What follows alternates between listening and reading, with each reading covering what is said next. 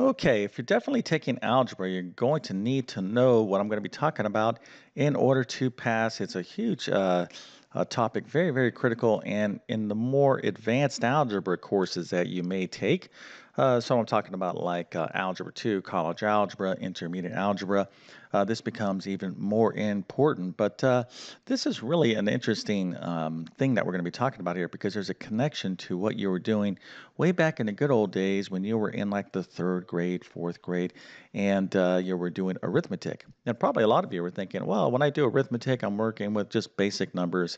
You know, that's like one math. And then when I take algebra, that's like a completely different math. But no, math is connected.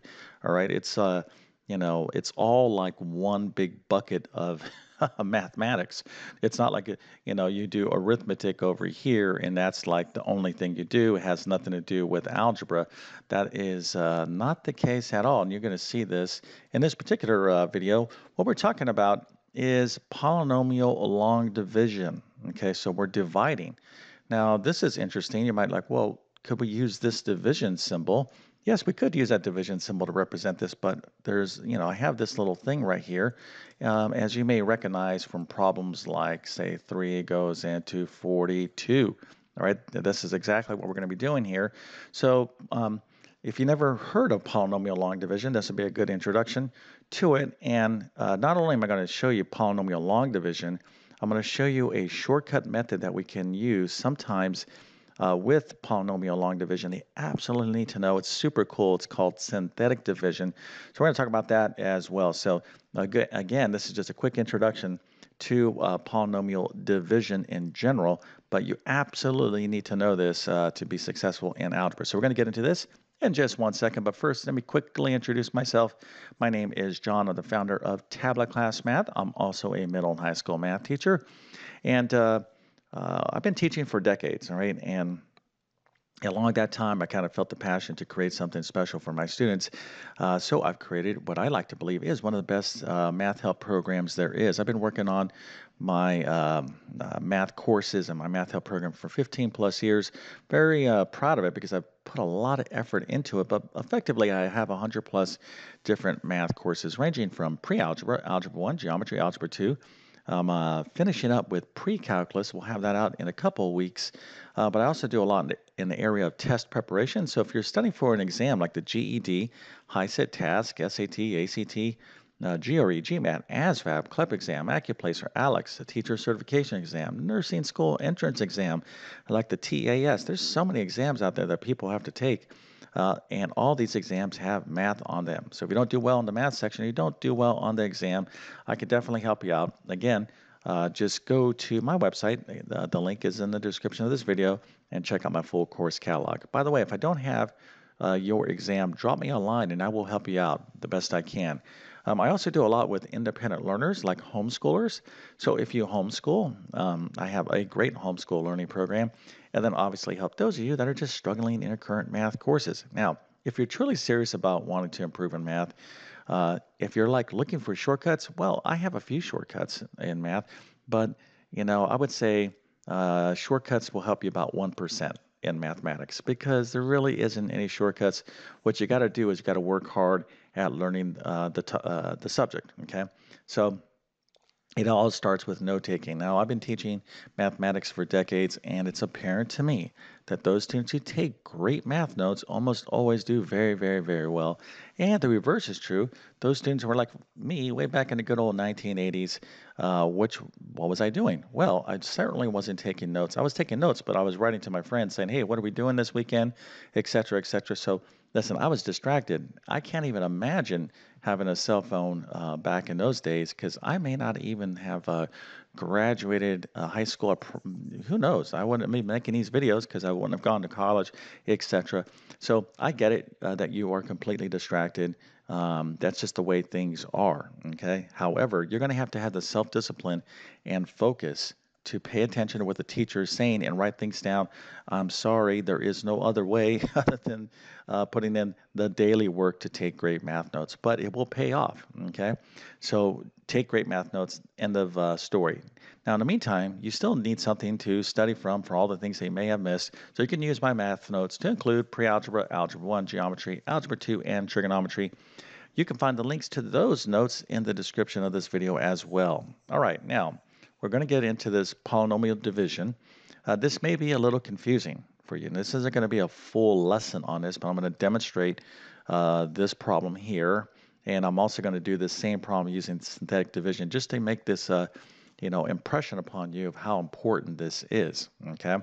Now, if you think you can do this, uh, definitely pause video and uh, you know see what you come up with. Now, if you need uh, more additional help uh, beyond this video, I do have other videos uh, on polynomial division in my YouTube channel in my uh, Algebra 2 playlist. However, you probably you really want to consider taking like my Algebra 2 course, okay? Because I really thoroughly get into this. So this video is just going to be a quick review on this uh, but not anywhere near the level of instruction I do in my Math Help program. So uh, let's go ahead and get started.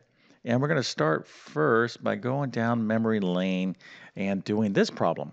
Okay, do you remember this problem uh, or problems like this way back uh, when you were like in third grade when we had recess, right? How cool is recess?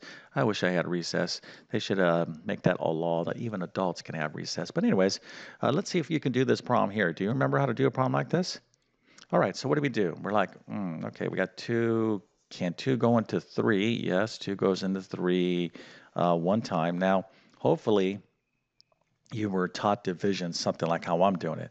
I know there's newer ways of, of uh, doing division, etc. I'm not going to get into uh, commenting on that, but listen, the bottom line is you still need to be able to do this arithmetic. So let's go ahead and continue on. This is the way I was uh, taught way back in the good old 1970s. Um, I think uh, my one of my teachers was named as Mrs. Pete. All I know is that she was smoking in the classroom. I think that was like 1975. Anyways, let's get back to the problem. So two goes into three. How many times? One. So then we go, okay, one times two is two, and then we subtract, right? Then I subtract. I'm like, oh, the answer is one. then I go, all right, can two go into one?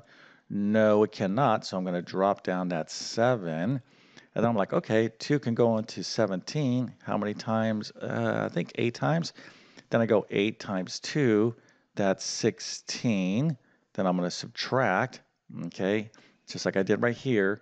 And then I end up with 1. Can 2 go into 1? No, but I don't have any other numbers to drop down, so I'm done. So I can say uh, 2 goes into 37, uh, 18. Uh, remainder is 1. Or I could go uh, 18, and I could write this as 18 and 1 half as well. So hopefully most of you out there um, remember this because this is called the division, division algorithm.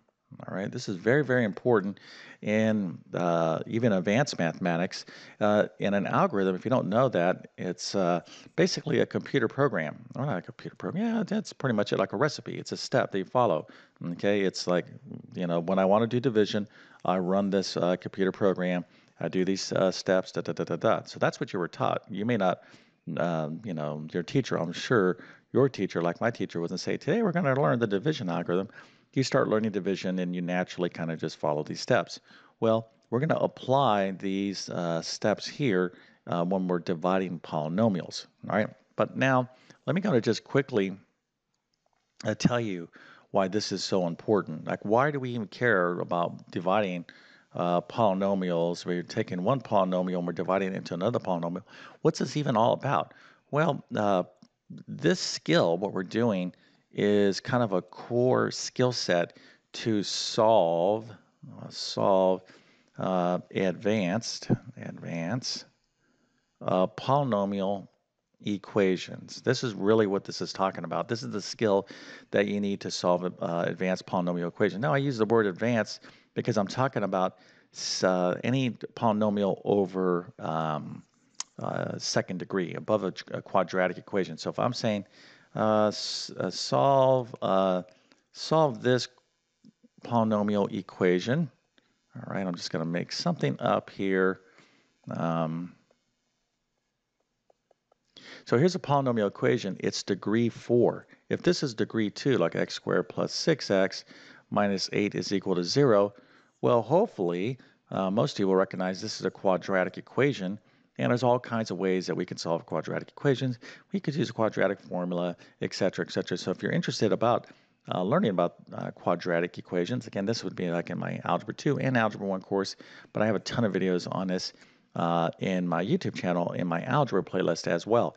So, you know, most you can solve this. Hopefully, you've heard of quadratic equations, but we have tools and techniques to absolutely solve this equation. Now, when it comes to something above 2, power of 2, like power of 3, 4, 5, these guys, well, this is a whole different ball game. This is where the real fun starts in mathematics. So this is really what I would classify as more advanced polynomial equations. But guess what? They're equations too, and they deserve to be solved. But we're going to need to uh, use uh, more powerful tools, and polynomial division is part of that uh, new tool set or uh, set of tools that you need to solve these guys. We don't really need them over here because we have the quadratic formula. Okay, so let's put this in context. And when I uh, have a title, of like, hey, do you, you really need to know this to pass algebra? I'm not lying. Okay, I'm, I'm being uh, very truthful here. All right, let's get into this. And again, if you don't fully understand uh, this, that's okay. A lot of students don't. Eh. The first time, of course, you can um, watch this video again. Uh, I've done other videos on this in my uh, YouTube channel, but now I'm going to encourage you to check out my Algebra 2 course uh, to really master this. All right, now here's our problem. Okay, so we're going to divide this polynomial by this polynomial. And uh, I, I'm specifically using this guy right here for a reason. Okay, now this could be uh, any two polynomials. Okay, and so this works exactly like when we're dividing numbers. Okay, we're going to be thinking the same way. All right, but here's how it goes. All right, so let's get started. You can see I've done some work here. So the first thing we're going to do is this. We're going to focus on the variable x, okay? We're going to focus on this part. We don't really care about this other part will come into play. So I'm going to ask you, all right, what can I multiply this by, this x, to get to this here, this number, okay? So uh, what, can I, what do I need to multiply this uh, variable to get to 2x squared, right? This is how you start these problems. So the answer is, well, what if we multiplied by 2x, okay? So if I multiply 2x by this x, I would get to 2x squared. And uh, that's correct, okay? So what we do is once you determine what you need to multiply this variable by this, uh, in this case it's 2x, now we're going to take that 2x and I'm going to multiply, okay, it's 2x is what I need to multiply x by to get uh, here. That I need to multiply x by 2x to get to 2x squared. Okay. So again, I know it's probably a little confusing for those of you out there, but just keep watching. All right, so now that we determine that uh, it's 2x and I need to multiply this by, I'm going to multiply this 2x by this whole thing here, okay? This follows uh, what we were doing with arithmetic here with that basic uh, um, problem. I was at 2 divided into 37, whatever it was, right? So now we're going to take this 2, then we're going to multiply it by x minus 5, boop, just like this. So when I do that, I got to use the distributive property. So I get 2x squared minus 10x. You're like, okay, awesome.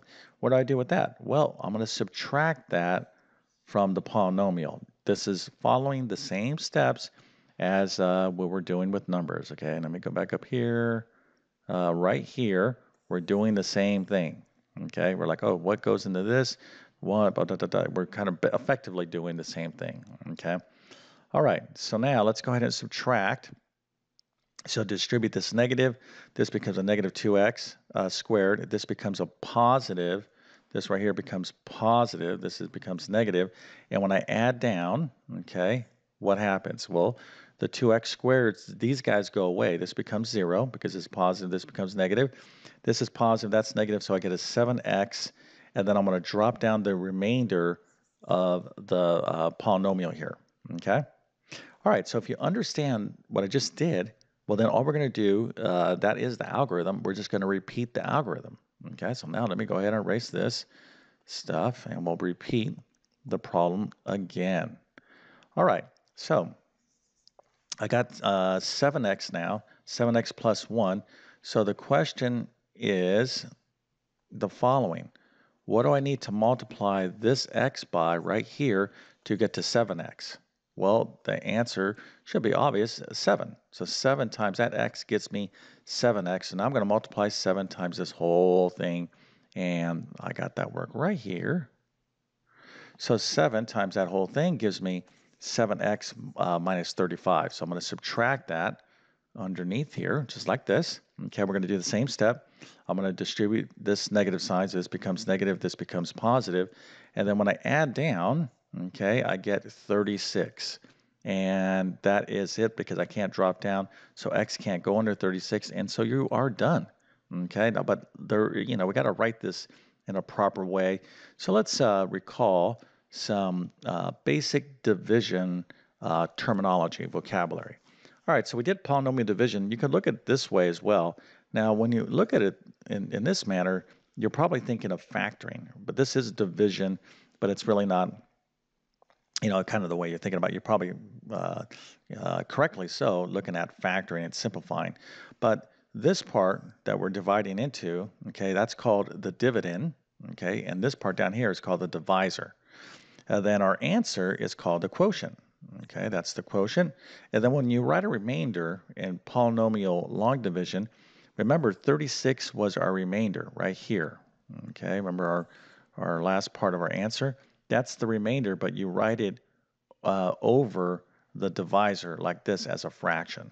Okay, so this is an introduction to uh, polynomial, excuse me, polynomial long division. All right, now, again, I know I'm covering a lot in a short period of time, but this is important stuff. Now, let's go ahead and do something very interesting here. Okay, now this is this is really the value why you want uh, to learn this. So here, let's take a look at um, this part of the problem, okay, which of course is called the what? The dividend. All right, then we have the divisor, but uh, let's just focus on this, okay? So here is this part of the problem. Let's write this as a function, okay? Now you're like, well, where are you, where are you going with this? Well, I'm going to show you this, okay, here precisely because this is really why we're studying this. So I got x minus 5, uh, and I'm dividing it into this polynomial. Now let's evaluate this function right here for 5. Okay, what does that mean? Well, I want to find f of 5. That's what it means. I'm plugging in 5 into the function. You understand? Okay, all right, so hopefully do. Let's go on and do the work. And obviously I've already done it here for us. So when we find f of 5, we plug in uh, 5 for x, just like this. Wherever there's x we're going to plug in 5. And when I do all this, I get what? 5 squared, that's 25. This becomes uh, 3 times 5, that's a negative 15, plus 1. 2 times 25 is 50. So this is uh, negative 15 plus 1, that's negative 14. So 15 minus 14 is 36. So f of 5 is 36. Hmm, how interesting. Doesn't this number ring a bell? Well, it happens to be the remainder over here, okay? So there is a connection to this. So you're like, oh, that was interesting. So I evaluated this function for uh, 5, and I got uh, 36 which is ha uh, happens to be when I, uh, the remainder if I divide by 5, okay, or a polynomial where this is 5, okay, and now this is called uh, what we um, a linear factor. Now, this is just an overview of this stuff, right? I'm, tr I'm trying to make these connections.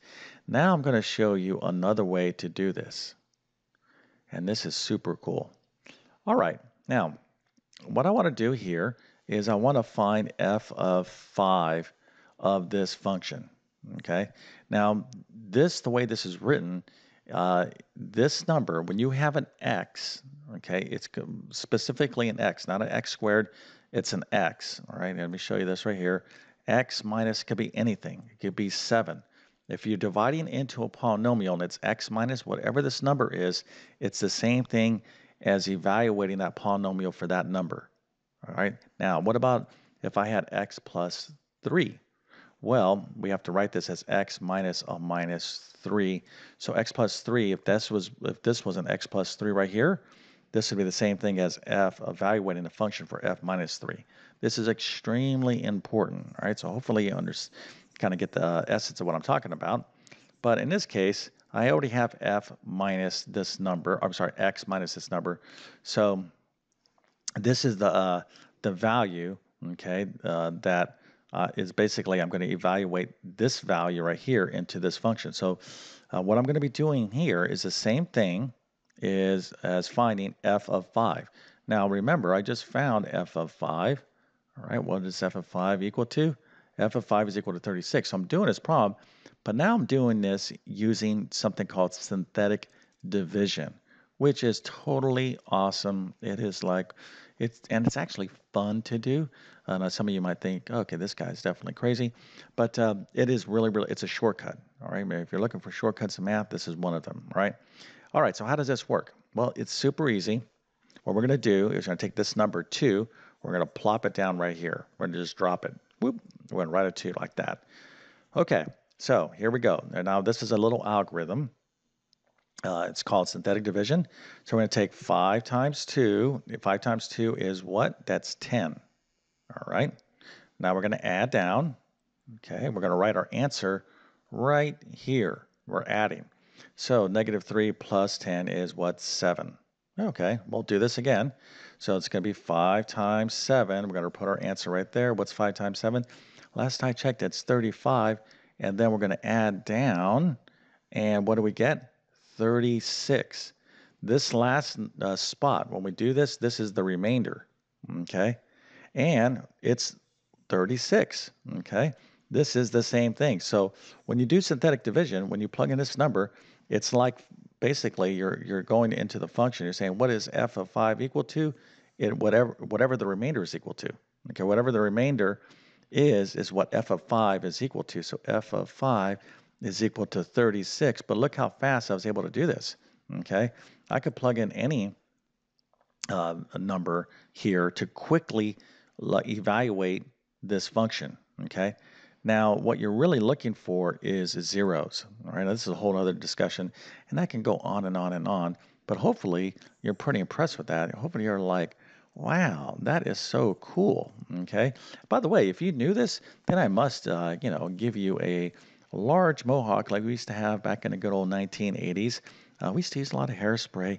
Uh, I think some of you who watch my videos, maybe uh, I've said that before. It's probably pretty dangerous to have that much hairspray in your hair. But anyways, if you knew this and you know uh, all of this, then I'm pretty sure you're tracking for an A plus 100%. Matter of fact, if I was your teacher, I'd say, you know what, just go home uh, and I'll see you next year because uh, you're obviously doing all the right things. You're probably watching that guy on YouTube.